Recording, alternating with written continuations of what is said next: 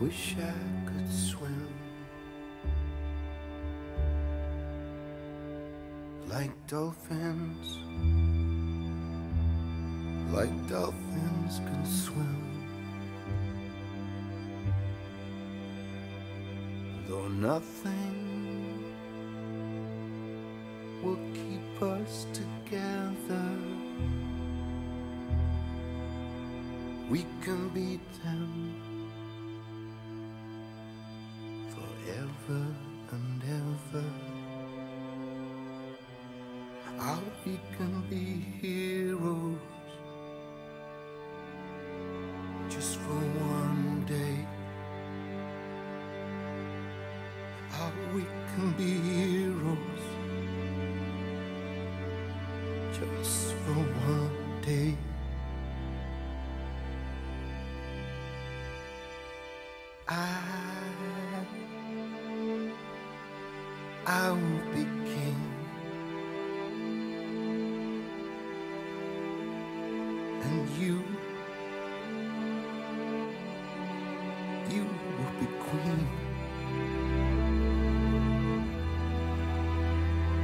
Though nothing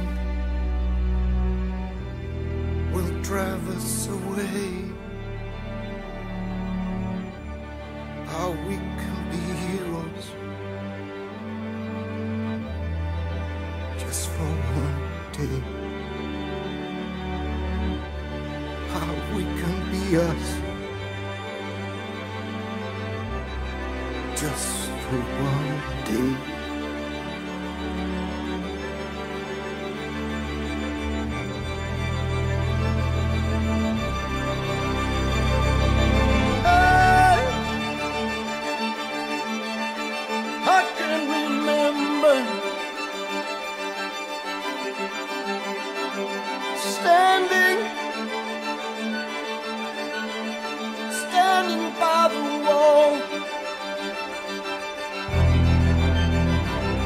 And the guns shout above our heads, and we kiss. as though nothing could fall.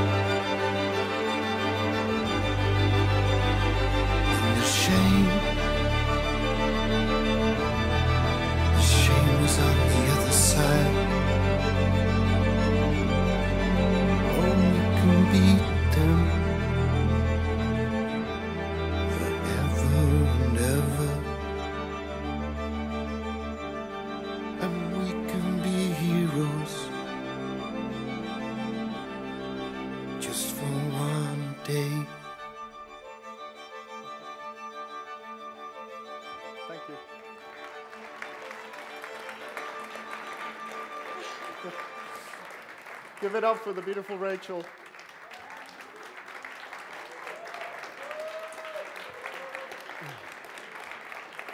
So, as you can imagine, this is a little bit of an unusual setting to do this, and it's been a little bit of a uh, challenge to get this all organized. So, thank you for bearing with us, and let's go forward. Today we celebrate the first glorious anniversary of the information purification for the first time in all history a garden of pure ideology where each worker may bloom secure from the pests of their contradictory thoughts. Purification of thoughts is more powerful a weapon than any fleet or army on earth. We are one people with one will, one resolve, one cause. Our enemies shall talk themselves to death,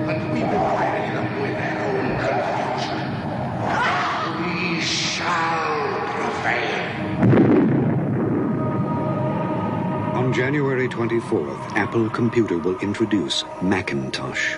And you'll see why 1984 won't be like 1984. So, the Apple 1984 advert, when, uh, when they made it at the time, it cost a million bucks, and Ridley Scott directed it. And uh, it was considered quite the bold move. Um, but in retrospect of what Apple is now, maybe it wasn't so bold after all. Maybe it was something that was absolutely necessary for that company to grow as fast as it did, and more importantly, become uh, something more than just a tech company in people's consciousness. So uh, crypto is full of attitude and evolution potential, but it mostly shows in uh, Twitter shouting matches uh, instead of professional advertising at the moment. And I'm just wondering why it is that I haven't seen a normal uh, television advert made about crypto thus far, even though uh, it's not important that it comes out of television. But if you're a guy my age or a woman or even older, it's likely that you've seen tens of thousands of these uh, adverts in this format. And we're very accustomed to getting information about something, especially if it's done with great production value and great communication, and you really want to quickly show people who you are and you're arrived. And I'm just wondering that this is something that still doesn't exist for some reason. Uh, so this presentation is about maximizing your competitive edge. Uh, and it's full of abundant opportunities, this whole field, to be the first at doing something. And all of those things always have value. And why I should be the person who talks to you about something like this, uh, this art piece here that you see on the stage and just behind me, it's called The Beginning of a New Era. Appropriately so, because uh, I did it in collaboration with a Bollywood actress called Veena Malik, and uh, at the time, um, it was quite the controversial thing to do because she's Pakistani and she's Muslim. So for her to come and do uh, these six art pieces that comment upon the common origin of all spirituality all over the world in these nude body painting pieces in Finland was quite the wave. But because our communication was about building bridges and finding what unites us as men and women and what was beautiful about us all over the world, even in the conservative Pakistan, it was very, very well received. Uh, so it's then since been seen on stages like here, uh, the World Body Painting Festival in Austria, and that's the main piece, actual concept of what it's going to look like when we actually get it to uh, have a home someplace. So, uh, needless to say, because of the potential uh, controversy of it all, when we released them, just through legacy media alone, and this is the BBC World, The Independent, Times of India, uh, Pakistan Tribune, uh, Vice, even all these channels that, uh, well, Vice is, well, Vice is maybe not so much legacy media, but regardless, the conservative estimate is that it went to about 300 million people, and that's the legacy media alone. And then you had all, all the viral media, even DESIblitz was actually there when we launched these from London, and they were copied multiple times, and it just went all over the place. So for a 20,000 euro investment, which is what it costs for us to put this together and transport the works to London and do the press release and launch. I think that was pretty good bang for buck. Uh, and as a part of this concept that I've devised, which is called Artevo, I also um, uh, put together a new kind of pricing system and how to sell it all, because most of my contemporaries, uh, traditionally, they limit uh, the physical amount of these works by how many they are. Let's say someone just makes eight of those and that's it.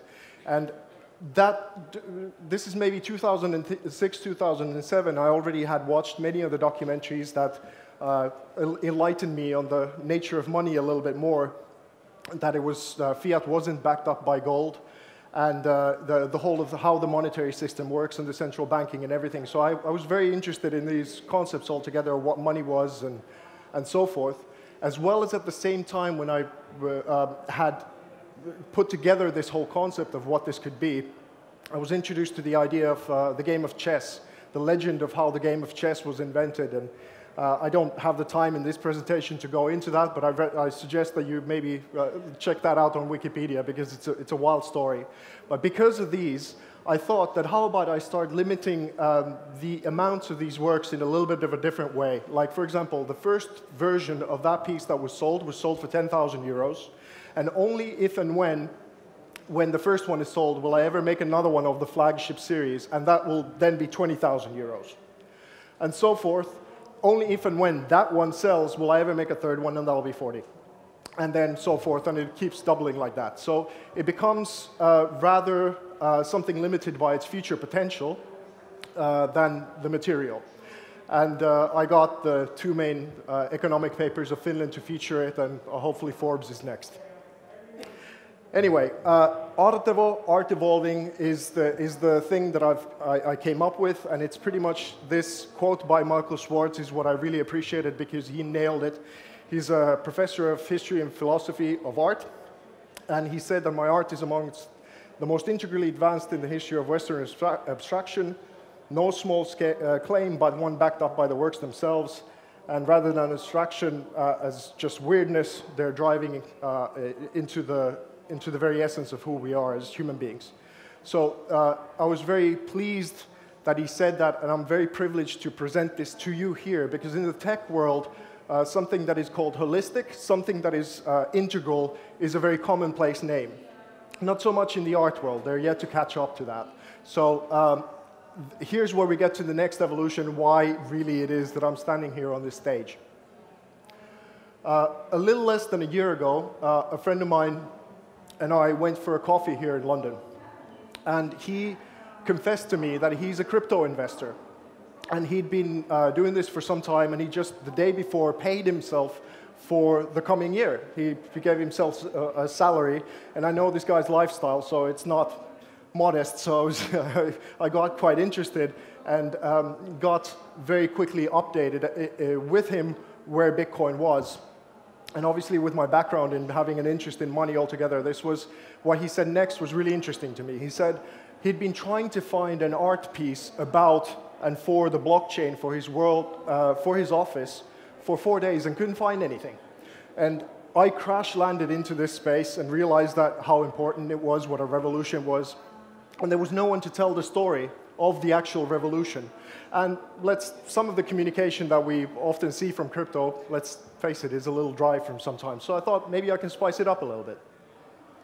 So my first soft fork was Artevo for crypto, artforcrypto.com. So I started doing it. Like uh, this piece is called the fork and flip, and it's the global battleground of the bull and bear. You could see it as the market, or you could see it as capitalism versus communism. Uh, there's all these uh, there's the world map is sunk into the background there. And for the sake, because this piece that is here now presented, this is the second of 12 only that are ever going to be made in that format over there. So it has, uh, basically, at that time when I made it, it was about maybe Ethereum was going to take over as the mother, uh, mother coin in terms of having the biggest market cap, because it was the first fork of Bitcoin.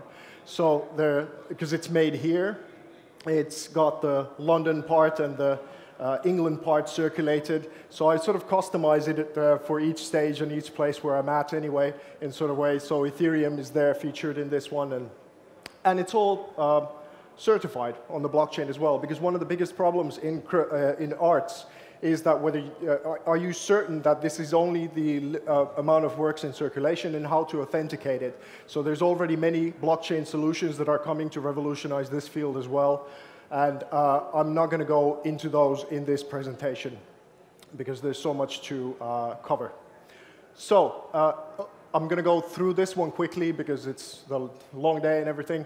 Um, so uh, just before the year ended, I was invited by Keynote to go to Miami to the Northern American Bitcoin Conference uh, to show my stuff there, to have a booth there, and present what it is that I do because people thought that you know it was maybe a little bit exceptional in the space. And I started thinking, well, if I get invited somewhere, I should make the art piece relevant to the place of where I'm going. So I started thinking about Miami, like the legendary skyline that it has, and you know, palm trees and crypto, how does it all work together? Bitcoin is a bit flashy, it's a bit peacocky, it's that kind of, you know, gold all over the place. So I put together the palm tree and the peacock and then the tropical fruit of uh, Bitcoin, as in, that's a kind of cute idea that you go to uh, Miami and if you showcase your stuff, you might get to collect the tropical fruit that is out there. But it was still just a little bit too cutesy. So I had uh, seen previously the um, documentaries on Netflix called The Cocaine Cowboys from the 80s and what happened in Miami. And I'm a kid from the 80s, so I saw the Miami Vices and all that stuff. So basically, uh, I started thinking that what's really relevant is a lot of those banks were built during that time magically. Uh, so the skyline, the famous skyline of Miami, had actually been built to a large degree by cocaine. And now Bitcoin is coming over and it's transforming those buildings with the code of what it is that is there. So I thought, well, that's a little less cutesy, so maybe putting that all together, that's the relevance of Miami that was going on at the time. So that was fun. Um, so the pizza effect. It all started, uh, the actual substance coming into this space by a couple of pizzas, right? Uh, so with, it, in terms of the, most people's minds, crypto is quite abstract, and it gets often accused by a couple of things. And first, uh, it's a sort of, you're a criminal if you use it. So it's the mafia bubble. Uh, or then it's just a bubble, it's a bubble, which is kind of like a safe word for the universities uh, right now that you need a safe space in university. It's, it's like for those who don't really understand blockchain, if they don't want to appear like they're unknowledgeable, therefore they just say like, oh, it's a bubble, it's a bubble. I don't, want, I don't have time to really get to know it, but I don't want to appear like I'm not in the space. So those are the two, two bubbles. So how can um, community service balls would be the thing of how to get beyond these. And what I mean by this is is getting it more tangible. So even though BP and Coca-Cola are already here, most, most people's minds aren't. And I met so many millionaires in Miami who just didn't know what to do with their money. And they, no one had ever introduced them to the idea that they could become uh, people of substance beyond just ones and zeros. So this became a mission of mine in, of, of, sorts.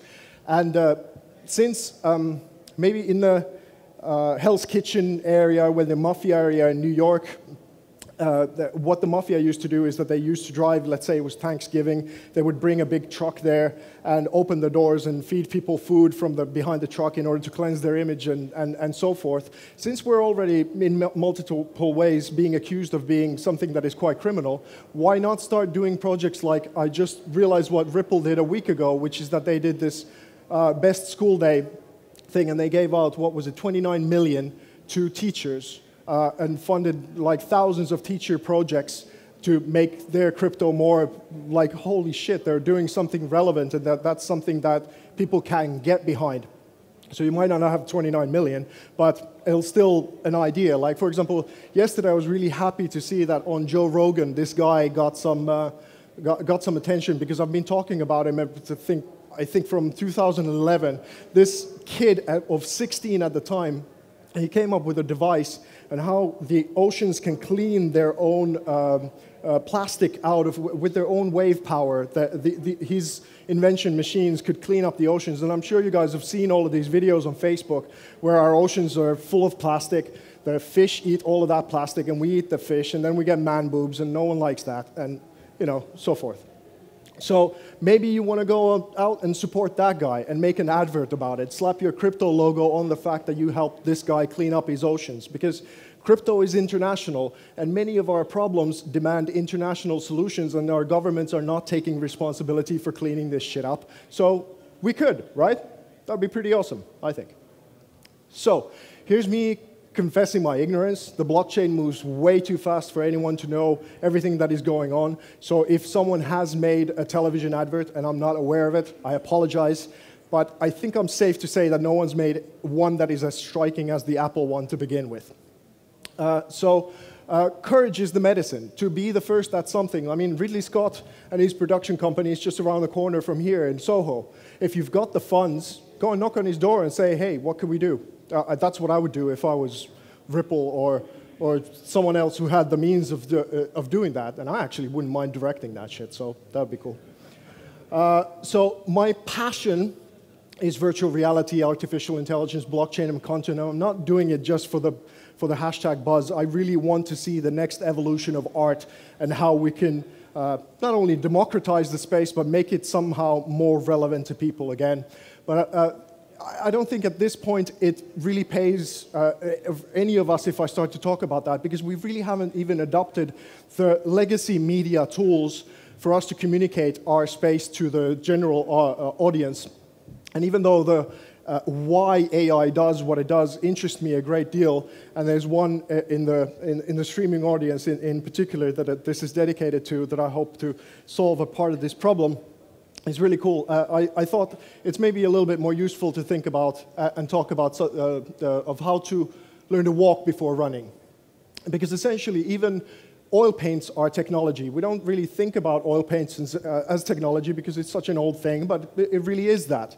And uh, I'm doing my best to make paint relevant to this thing and start really from the scratch and start building block by block of how to, oh, that was a pun, I wasn't intended, but how to, how to really start um, adapting all that we already know eh, from storytelling with the devices that we already know.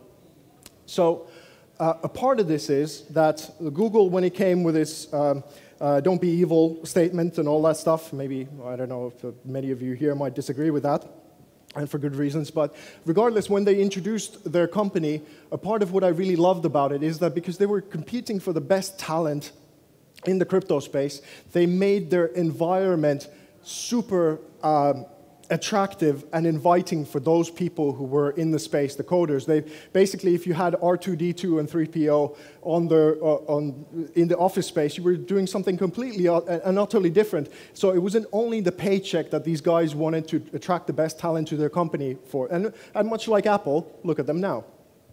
So, um, oh, a, a, slight sidetrack. Uh, I started seeing these. Uh, uh, sort of profile descriptions on Twitter and whatever that people said that into crypto before crypto was cool, but look at us now, you know. And my humble suggestion is that we really aren't there yet. and it's, crypto is maybe cool in a, in a sense that it's a kind of echo-based type of thing for the people who are within the scene, but it certainly isn't perceived as that to the outside of it yet. So but the Megan Fox effect is real. That you can't really buy culture, but you can support and associate with it. And I'm pretty sure she wasn't paid to do this, but it obviously is a little bit different when she's wearing that shirt than a whole bunch of other people. So, uh,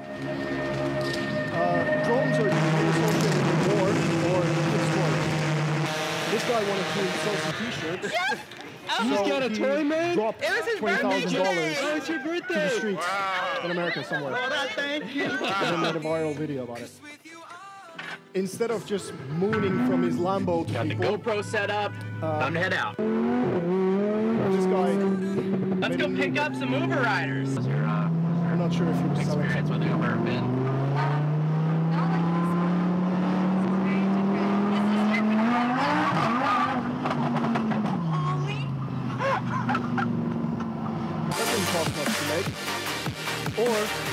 The electric Formula One is starting to be a big thing now. I haven't seen a single crypto logo in, in the tails of, of those cars, if you have the means. Because of Formula E. Because maybe they like technology first, and then Formula E comes second. So it's very interesting. I think there is a good mixture of uh, of these two very different sort of fan base. You know which way uh, is Well, my hospital? personal favorite when Johnny Depp went to the Okay. kids' hospital. Maybe someone wants to make an updated version of something like this and be the sponsor for projects like these and really My help name is communities. And I'm, I'm pretty sure that Jack was, How do you do? that was perceived pretty well all over the world as well as those people. Uh, like this girl had been in that hospital her whole life. I like your prison uniform.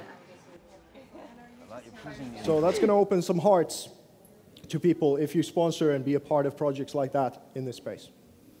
Um, so more affordable than Ripple's 29 million maybe is that, for example, this is a GIF by a guy called George Redhawk, and he's legally blind. And as he was going blind and he got to know that he's going blind, he started uh, putting together these different morphing techniques and started putting together art that you could basically just put on your screens in your office or something if you were running it on a budget. Uh, I, I'd hesitate to call that a GIF because I, I think that's something profoundly more especially when the resolution is a little bit better. But there's all sorts of creative uh, solutions on what you can do in order to make your whole environment, your communication, and everything that it is to do with your blockchain uh, space more improved. So I do fundamentally believe that the new Medicis, the new supporters of art, and the people of culture are going to be coming from the cryptocurrency space. Because we do have a clean slate of where to start from. And uh, this is going to become self-evident to people that this is what we need to do. So whether it's Justin Renz building uh, wells in the Congo, maybe you want to get your uh, Bitcoin logo on the Marvel Studios next movie, or maybe you want to help find the next U2 because God knows it's time, right? So it's uh, all of the, that stuff can be a direction of where you're starting to take your company communication uh, so that you become more visible in the space. Where I'm going next is uh, my next main stage performance and keynote is going to be at the World Cryptocurrency Conference in Las Vegas. And they say it's the world's largest crypto conference. And uh, it's going to be hosted by the Bad Crypto podcast guys. And they are, uh, the, the whole idea of this conference is is that it's going to be a little bit different to what you're usually accustomed to seeing in these things. And this is a big challenge for me to be at this beautiful, massive hotel uh, on a big stage to scale what it is that I do to the next level. And I can't do it alone, nor would I want to, but this is something that I need sponsorship for. And I would like to go all over the world to all of these different conferences to um, do what it is that I do and make it a little bit more lively and uh, give my expertise. That's where uh, 20 art pieces are going to be, and, and I'm just really, really looking forward to this at the uh, end of the year. So, uh, some final thoughts.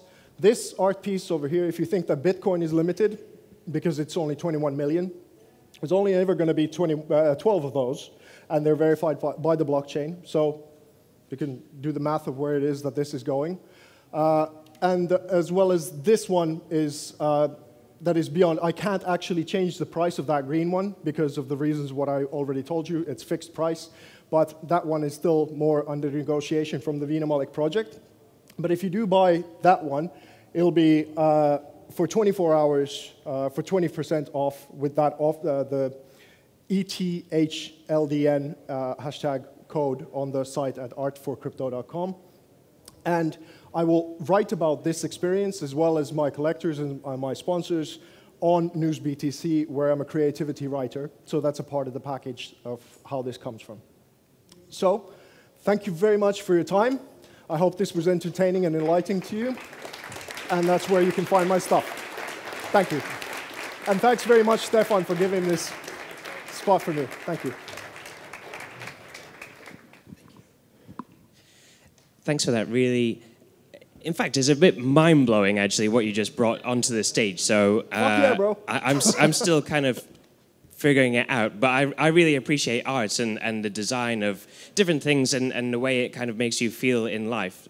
Uh, so I really appreciated what you've just brought to us, and, and you're very right that the crypto space is quite dry sometimes, and uh, this actually livens it up. So well done, and thank you for, for coming here. Thanks very much.